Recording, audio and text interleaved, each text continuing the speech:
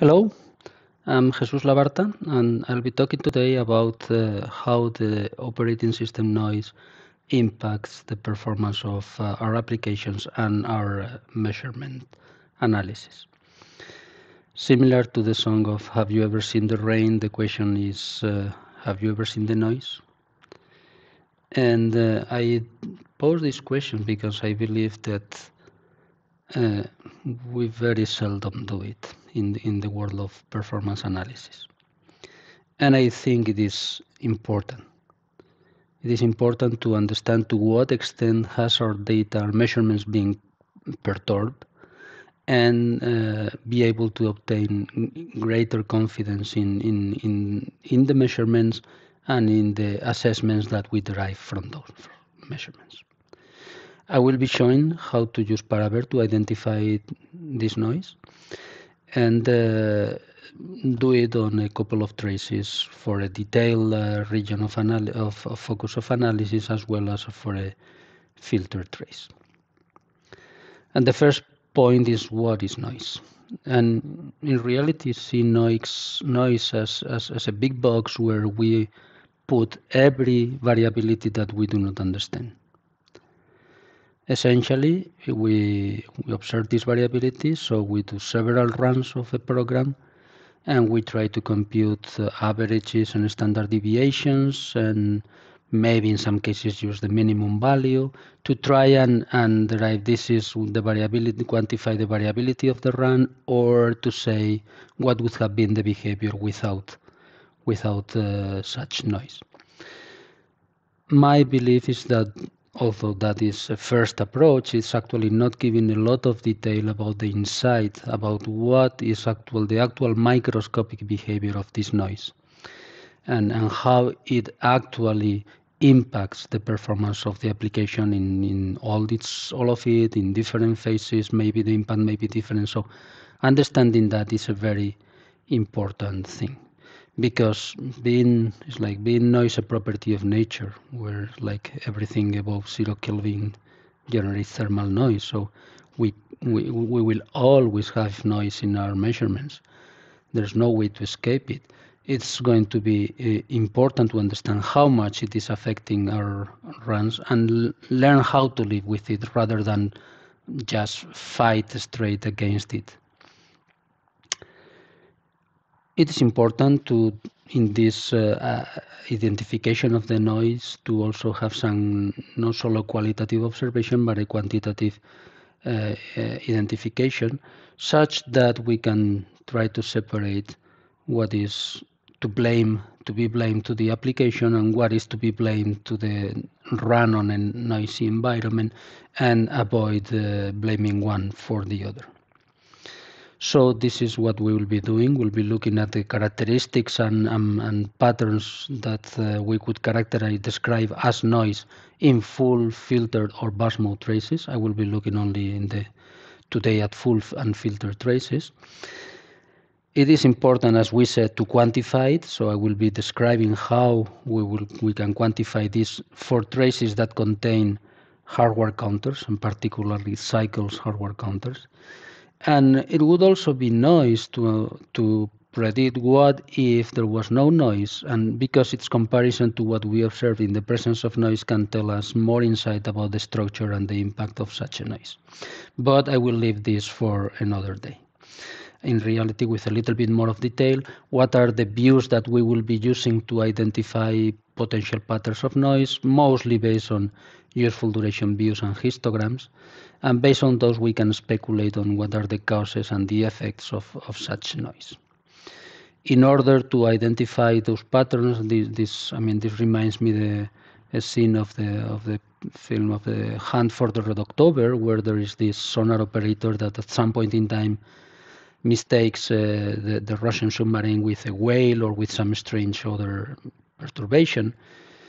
And then the captain asked him, Well, but if we meet him again, will you be able to identify it? And the guy says, Well, now that I know what I have to look for, I will be able to identify it. So this is a little bit uh, uh, what I will try to, to explain and demonstrate is understanding what we have to look for in terms of understanding where is noise.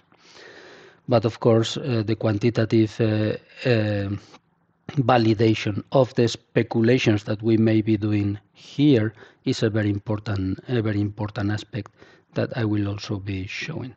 In a sense, speculating based on patterns and based on perceptions is perfectly legal.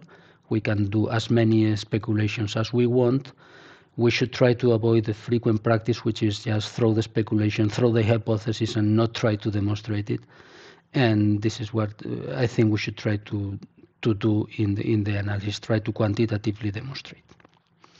I have in the in the slide some patterns that we will be seeing on the demo, so I will leave them for later.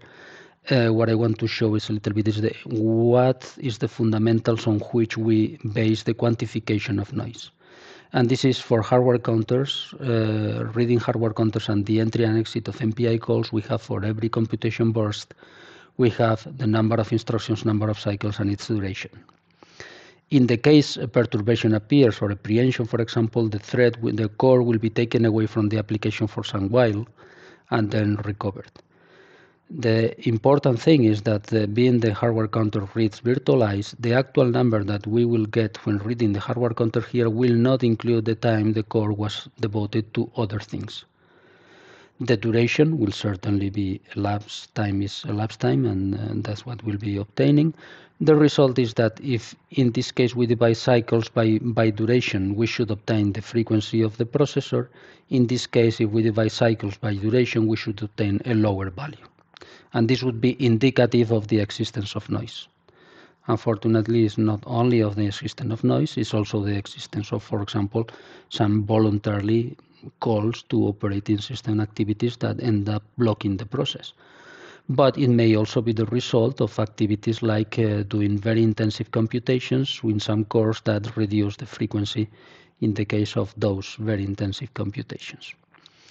So uh, the question that motivated the session was, have we ever seen the noise? Was this pattern of that if we see it, we will now we know that what we have to look for, we will identify. And this is just a, a plot that we will see in the in the real demo about how to how to do that. So let me switch to the real demo and we will kind of develop in a certain feeling of how these things uh, evolve. I have prepared a trace that I have already loaded. Uh, this is the trace of a cut of, I mean, it's, it's kind of uh, 30 megabytes compressed is in the order of 300 uncompressed. I've loaded it, and I will be, uh, as I said, the, the, the first kind of uh, configuration file that we'll be using will be based on useful duration. I have some pre declared configuration files, and this is the useful duration. I load on it, and this is this is going to compute the histogram here, and it's going to it has its associated timeline this is the histograms of useful duration. The trace has 384 processes, so these are 384 histograms. The timeline is this. It's associated timeline. And in, in this timeline, we can observe a first long computation here. There's a, a relationship between histogram timeline, so this region here correspond will correspond to long computation durations in the histogram, so spikes in the long in the bins towards the right.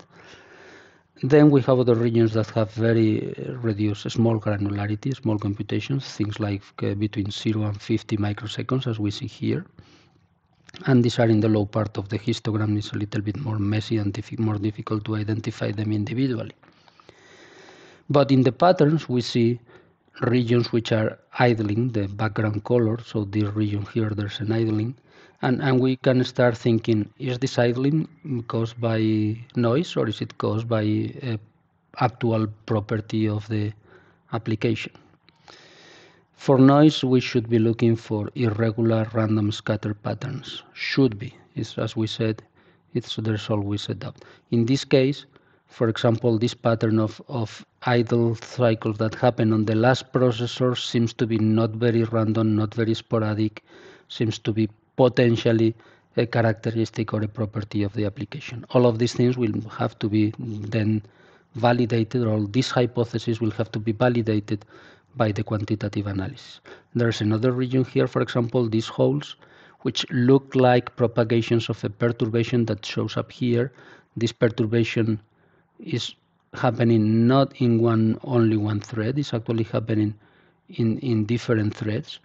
And they are all of them elongated with respect to the other ones by the same amount of time. So it's again something which is not very, very random but uh, still, so probably this is probably not noise, or it might be a kind of noise or perturbation that makes several guys, several of these guys, probably we could speculate that maybe also noise running in the same node and the uh, so processes running in the same node and maybe it's a noise that affects the whole node. So all of these are speculations where, that we would have to validate later we can see, for example, here in this area of fine microscopic uh, fine granularity, we can see that the duration is, is very low everywhere between 0 and 50 microseconds uh, where I put the mouse.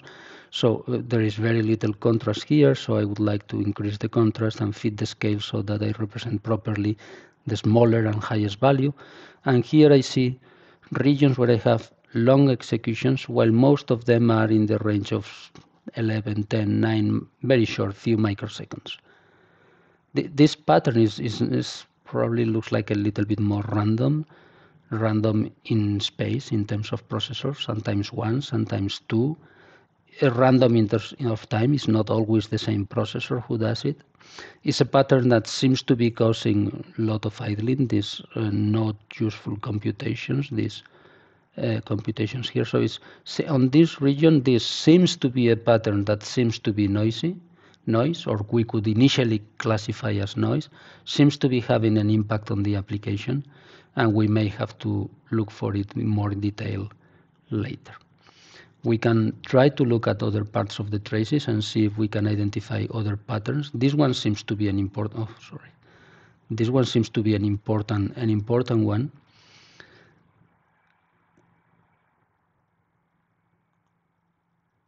I can fit the scale so that I see all the all the trace in, in, in filling the, the gradient scale.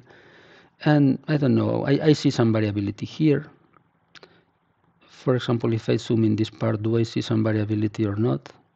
With at this scale, maybe if I zoom, if I fit the scale to see, I do see some some variability, and so this this guys here this guy here seems to be taking more time than the other, finalizing later than the other. So is this noise? Is this noise in these guys? Is this noise coming from somewhere else because might reflect the perturbation maybe initially visible somewhere, but the actual cause may be somewhere else? So these are the kind of questions that we should try to to identify. In this case, we can drill down and we can, for example, we can drill down here and it comes out that the actual duration of the, all of these guys is about the same. So this one is not taking longer to finalize because he's longer to execute. Seems to be that he's taking longer to finalize because he's starting later. And why is he starting later? He's starting later because here this guy is starting later. But there was another guy here who also started later and finished later, but this guy is not doing activity. So what we see is that in this case, for example, the hypothesis is noise has been suffered by this process.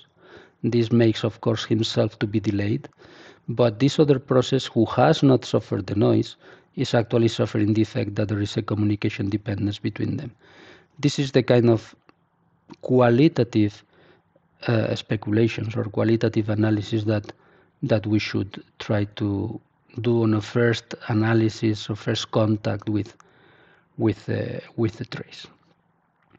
But what I said is the important thing is are we able to demonstrate in terms of uh, of uh, frequency whether this is this is the case and uh, let me try to load another configuration file. This configuration file is a histogram of the frequency that is observed for each of the individual computations.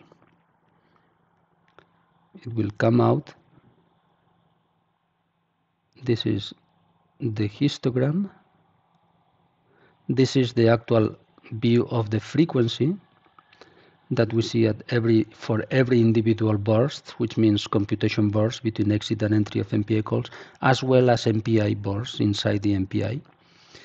And, and this is the histogram here. And what the histogram tells us tells us by the way, this is a histogram for the time for the bars that are outside MPI, so the useful computation bars. What it tells us is that there is a spike here, which is around, we see it at the bottom, is around uh, 2.08 gigahertz. So this is probably the frequency of the processor, and this is what seems to be the frequency that most of the computations are.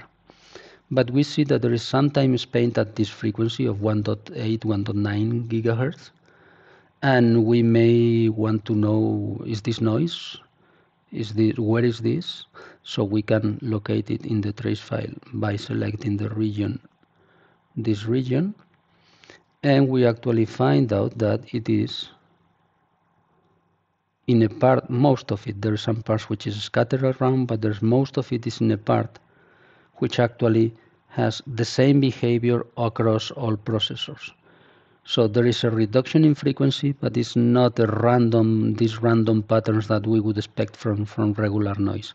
So for this part, we might have to do other hypotheses, like maybe it's related to activity of the process itself, maybe it's related to to AVX related changes of frequency, maybe it's related. So, but there's uh, something that we I would probably discard it as actually operating system noise in order to have more detail, uh, more more detailed look at this, maybe because the coloring here is not very is is, is too far too uniform. Maybe let, let's try to introduce a little bit more contrast by reducing the scale and making everything above. Uh, in this case, let's say, in this case, uh, everything above the two milliseconds, for example, to be in orange. So we spend more than two milliseconds at these frequencies, but we have seen that there are bursts at frequencies of 1.3 1.3 megahertz. So there are some parts of the execution at 1.3 megahertz. They are very small in total. We see this is a tot for a total of of uh, 800 microseconds, 820, for example. So we can see uh, also that if we even even reduce that to half of that, or to let's say 400 microseconds in total, we see that there are regions which also appear to have a relevant total contribution to the time, as well as regions with very low frequency that do have relevant contribution to the time. These regions are the ones that look like real preemptions. Okay, and well, this one running at one one gigahertz instead of two, what, what could that be?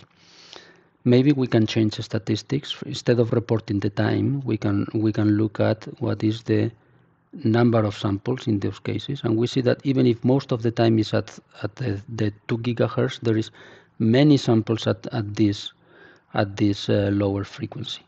So if we try to identify where this happens on the timeline, we actually will see that it is a very, we can look at it, and it happens in many places, but there are places which are, if we click on it, there are places that are very, very short. We can see that in, by looking at the timeline. We can see that by computing not the number of instances, but the average duration of those instances. And if we are here, the mouse says we are in regions which is on average only 1.28 microseconds.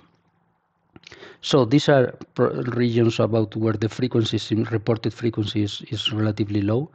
This is something that uh, probably has something to do with the actual overheads of capturing hardware counters and the fact that the reads are non-atomics. I tried in the past to convince some vendors to make the the read of the of the counters and the and the timestamps uh, atomically. For that would be very good for the tools. Is I was not successful, and I think is something that we have to deal with, and we have to know that if the regions that we measure are very very short, uh, the the measurement of the frequency is going to be will going to be very approximate. Uh, there will be because measurement errors. But uh, what we can look is for other regions where we have longer computations here, uh, we can see low frequency and longer computations. And for these regions, we can select them, for example,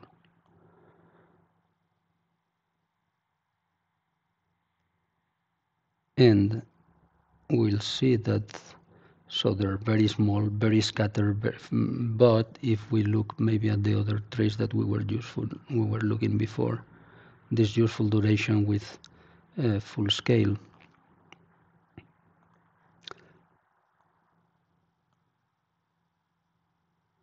If I copy and paste the default,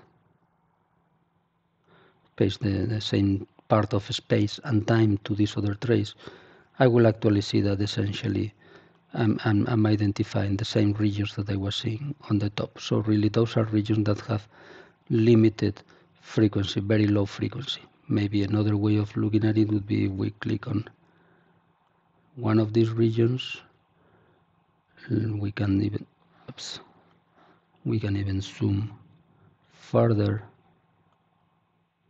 and I can copy this to a view which is for example the, the view of cycles per microsecond I have these regions where I have low frequency and low frequency, while other parts of the execution are running at high frequency. This is the curious thing. So in this part, the processes are doing busy waiting at high frequency, while this other guy is, is just being preempted. Okay, so this is about the basic mechanism to quantify and identify the structure, the, the, the metric of, of uh, of cycles in um, in the noise in the in the traces. I can probably do something like load uh, and the other trace, which is this is a trace of useful duration. Oops.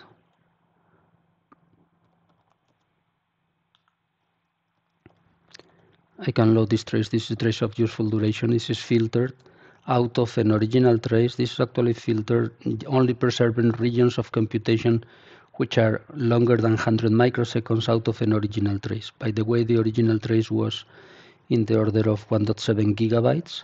This filter trace is kind of three orders of magnitude uh, smaller uh, when compressed. So, and it still allows us to do the same kind of analysis. I can load the previous configuration of the uh, useful duration.